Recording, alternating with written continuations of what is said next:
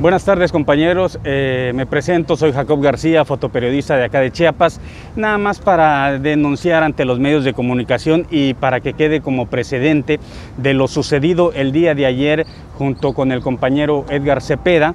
Eh, nos encontrábamos esperando a que abrieran un negocio para arreglar celulares allí en la Segunda Oriente entre Tercera y Cuarta Sur donde acudimos para que le pudiera cambiar la pila a mi teléfono celular.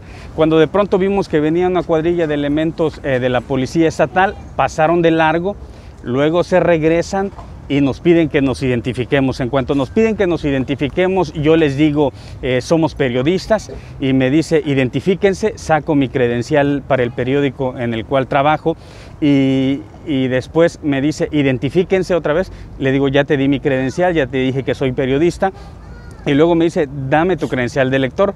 Yo la verdad, sin temerla ni de verla, o sea, le di mi credencial, creo que cometí un error habérsela dado y lo que me molestó es que le toma foto a mi credencial de lector, en eso agarro y le tomo una fotografía con mi, con mi celular y después me dice, ¿qué traes en tu mochila? Ábrela. Sin, sin problema alguno agarré, la abrí, saqué mi cámara, aproveché para tomarle una fotografía y mi compañero le preguntó que por qué nos estaba revisando. El policía le respondió, eh, yo reviso a quien a mí se me pega la gana, ¿no? Entonces, eh, un total abuso de autoridad de parte de este elemento. Eh, después de eso, bueno, ya siguieron su camino en dirección de sur a, de, de sur a norte.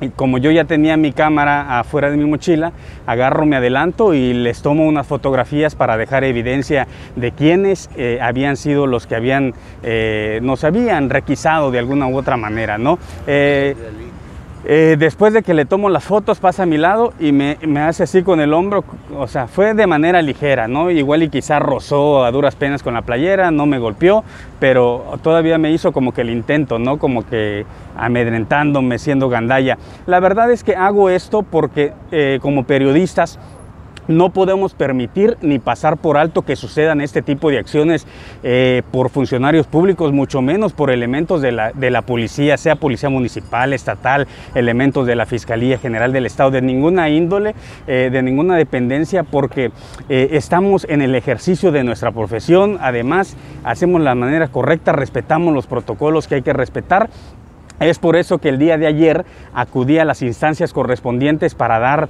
eh, fe de los hechos, acudí ante la Comisión Estatal de Derechos Humanos, acudí ante lo que antes era la Fiscalía de Atención a Periodistas, creo que ahora es Fiscalía de Derechos Humanos, y también al Departamento de Honor, y Justicia de la Secretaría de Seguridad Pública. Esperemos que esto sirva como un eh, precedente que que no vamos a permitir más violencia hacia, hacia los periodistas aquí en Chiapas. Y, de verdad que eh, deseo de todo corazón que ningún otro compañero eh, sufra algún tipo de agresión. Y, y, si en dado caso que eso llegara a suceder, lo más correcto es poner la queja ante las instancias correspondientes para que esto no se haga costumbre, ¿no? sino que al contrario exijamos un respeto al ejercicio de nuestra profesión. Ellos son los delincuentes entonces. Eh, fueron funcionarios eh, ejerciendo abuso de autoridad, ¿no? Sí, Jacob, ¿qué, ¿qué, pides en contra de este policía que los cesen? Mira, eh, yo no soy una mala persona, eh, lo único que pido es que las autoridades le hagan el correctivo correspondiente, tampoco eh, pido que los corran, que los despidan, eh, pero que les hagan el correctivo correspondiente y sobre todo yo creo que las fuerzas policíacas necesitan más concientización con respecto a los derechos humanos, a los protocolos con los que deben de actuar no solamente con nosotros los periodistas, sino con la sociedad entera. Todos somos iguales. Yo tengo el carácter y tengo el valor de evidenciar lo que pasa, pero las, las personas humildes, las personas sencillas que les ganan el valor, o sea, no quiero ni imaginar lo que hacen con ellos, ¿no? Entonces, eh, hay que dejarlo bien en claro, eh, que sean más eh, profesionalizados, necesitan un curso de ética, de formación policial, que los haga actuarse de la manera correcta en una sociedad que ya bastante está lastimada. ¿Existe el nombre de este...? de manera extraoficial tengo el nombre que se llama Moisés Farrera, que al parecer es subinspector de la Policía Estatal. ¿Inspector? Delincuente. Uh -huh. Oye, este, ¿Y qué vas a hacer ahorita? ¿Esperar? Eh, pues esperar la respuesta de las autoridades. He pedido este, eh, medidas cautelares también, toda vez que eh, mis, mi- la información eh, personal, eh, bueno, pues le tomó foto a mi credencial. Eso fue lo que de alguna u otra manera me, me molestó y, y además no, no, es un, no es un celular que le pertenezca a la policía como para que le tome foto a mi credencial. No es un, es un teléfono de él porque ni siquiera tiene logo, además él portaba su uniforme sin logotipo de la, de la dependencia, entonces eh, no puedo pasar por ¿Él alto esa acción. te Jamás identificó ninguno de los policías, jamás, te repito, fueron prepotentes, abusivos, abusando de su autoridad, como portaba un arma larga y, y todavía nos dice, pues yo reviso a quien a mí se me pegue la gana, ¿no? Entonces no podemos pasar por alto ese tipo de acción. Eh, la dirección de periodistas, ¿qué te comentaron? Digo, cabe señalar que esta es el segun- la segunda agresión a un periodista. Recordando el año pasado, eh, pasado a Bernardino Toscano también lo detuvieron eh, bajo.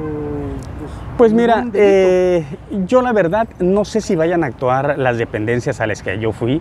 Eh, espero y que así sea, la verdad que de verdad actúen y este, pero mínimo interponer la queja, ¿no? Ante las instancias correspondientes, eh, que quede un antecedente aquí ante ustedes los medios de comunicación, porque no, no se puede pasar por alto este tipo de acciones.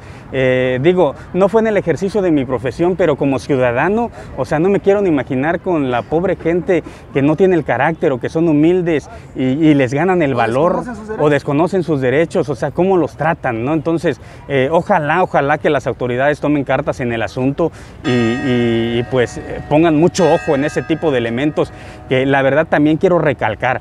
Eh, nosotros, muchos de nosotros, de los que estamos acá, de pronto cubrimos eh, también Nota Roja, donde nos hemos topado con elementos de la Policía Estatal principalmente y, el, y personal de pronto de la Fiscalía también, que nos limitan nuestro trabajo. Nosotros hemos aprendido a, respetar los protocolos de seguridad, respetar cuando hay un, perímetro delimitado, nos mantenemos al margen y siempre nos están corriendo, siempre nos están eh, hostigando que no podemos eh, grabar, que no podemos tomar fotos. Eh, eso no puede suceder porque estamos en un estado libre y soberano donde como periodistas podemos ejercer nuestro trabajo. Hay temor por ellos tener la dirección de tu casa porque eso es muy delicado. Es delicado, miedo no tengo. eh, pe- Pero- niños, sí, o sea, temo eh, y, y- y otra vez, también eh, pongo bien en claro que lo que me pasara a mí o a mis familiares, señalo directamente al sujeto que nos amedrentó y nos acosó el día de ayer.